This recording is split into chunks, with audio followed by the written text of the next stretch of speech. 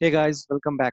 So today uh, we are going to look at how you can use external data files in Postman to run your collections with different data values, right? Before we start, if you're new to our channel and watching these videos for the first time, so if you like our videos, you can also subscribe to our channel QA Script, right? We have got um, 100 plus videos on different automation tools, uh, ranging from automation testing tools to CI/CD tools, right? So if you are interested, then please subscribe to our channel. You will get access to all these videos. Plus, you will also uh, never miss out on any video, uh, any new video, which we keep on launching um, almost every week, right? So saying that, uh, let's go back to our Postman. And so we'll be learning how you can run your collections with external data files, right? So what I'm talking about, if you open collection runner, uh, you will see an option called the data, right? So you can select a file here. So for example, if I select any collection here um, and you select any environment, right? Uh, here it asks you to select an external file, right? Now, you can um, select two types of files, right? So either it could be a JSON file or it could be a CSV file, right? So there are two types of data files.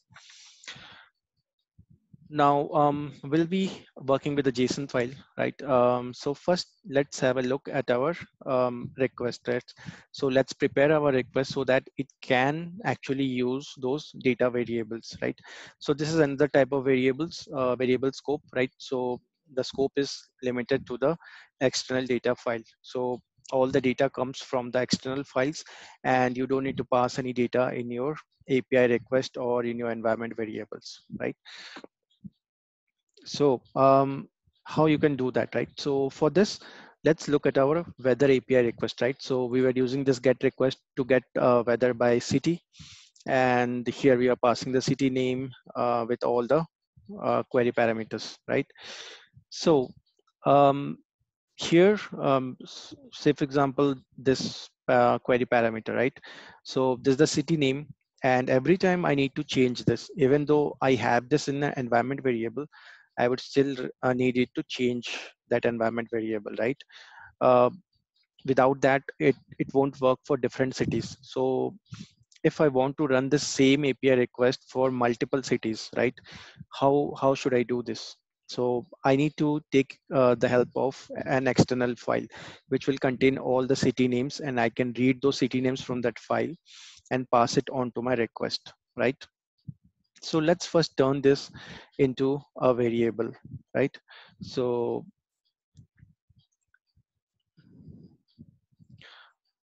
I will give city, okay? Um, let's remove all the environment variables, although it's uh, not required. It's, it, it will still work if you have an environment variable, but um, let's uh, make sure that it's not using the environment variable, right? So it's an unresolved variable right now, uh, but while executing, we will get this variable, okay? Now, uh, let's come to the test, right? Uh, if you look at the body, response body, right, there is a name which represents the city name, right? So if I'm passing Mumbai in the response, the name is Mumbai, okay?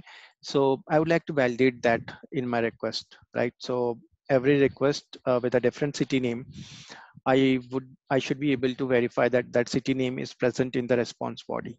So I will use um, a snippet here where which we have already seen. So the JSON value check, right? So I will name this as check city name okay. And here um, I will pass the name. And then in equal I will get the variable from the data file right? So for that you can use pm dot iteration data dot get. And inside this you should be passing your variable name right? Which is city for us. So this is what you need to do in order to get the uh, value of the uh, variable which is in the external data file, right? So we use the iteration data dot get and then the variable name. Okay, so this is all you uh, we need to do uh, changes in our API request. So let's save it. Okay, and um, let's go to our notepad, right? So here I'll be creating a JSON file. Okay, so this is my uh, test test JSON file. Um, I'm starting with a square bracket because it needs to be an array of values, right? So right now, if I just pass normal normal um, there's uh, normal brackets which represents some values in the JSON file, right? And let's save this. So let's go to a collection runner now and uh, okay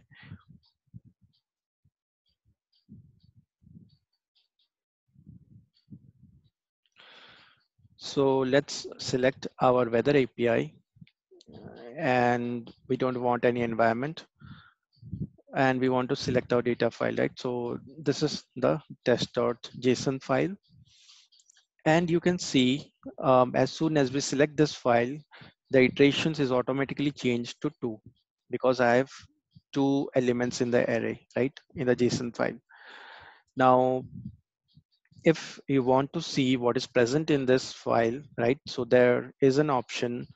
So data type is automatically selected as the JSON, right? Uh, there is also text CSV, but ours is a JSON file, okay? And if you want to see what's present, it will show you this preview data which will have the iterations. So one and two, we don't have any values right now.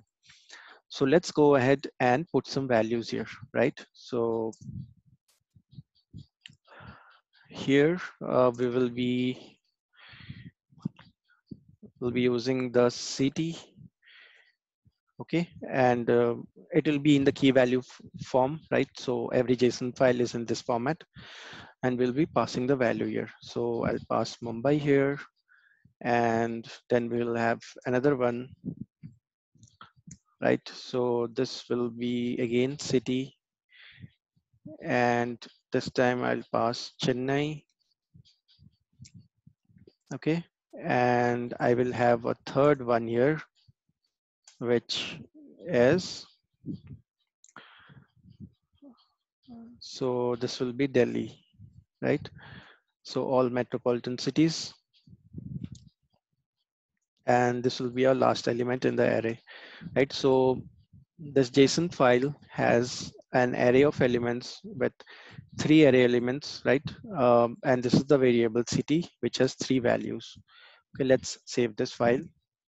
Let's go back to our collection runner, right? So um, I will again select this or let's close this file select it again and you will see now the iterations is changed to three okay if i preview the data it will show you the variable and its value right? Iteration one two three so mumbai chennai and delhi. Okay? Now um, that's all you need to do in order to run your test from an external data file right? So the test data is coming from a external file. This can also be represented as a test driven um, test driven automation, right? Because you are driving your uh, test from a external file. So let's run this. And in the collection runner, you will see there are three iterations which are being run, right? um, and all the three tests which we have added. So the check city name is passing, right? So it is validating different city names in each iteration, right? So this is for uh, Mumbai, this is for Chennai, and this is for Delhi, right? If you want uh, to see uh, what is the actual name which is being used here, you can also print, uh, you can use the log console.log uh, method to print the city name, right? So you can print it, print the value here and verify. Okay, so there are three iterations um, with different data,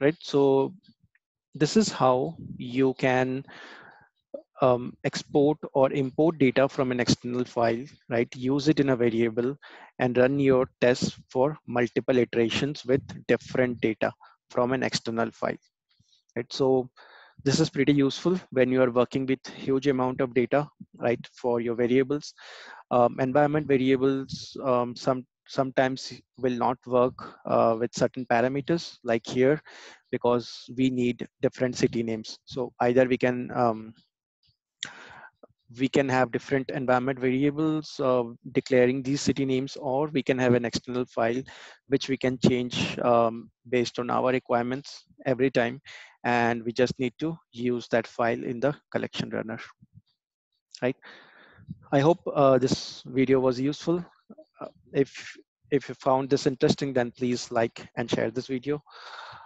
as uh, mentioned earlier, you can also subscribe to our channel and get access to similar videos on different automation tools. If you have any questions or uh, feedback, please leave a comment. I will get back to you. So thanks for joining this video. Um, see you in the next video.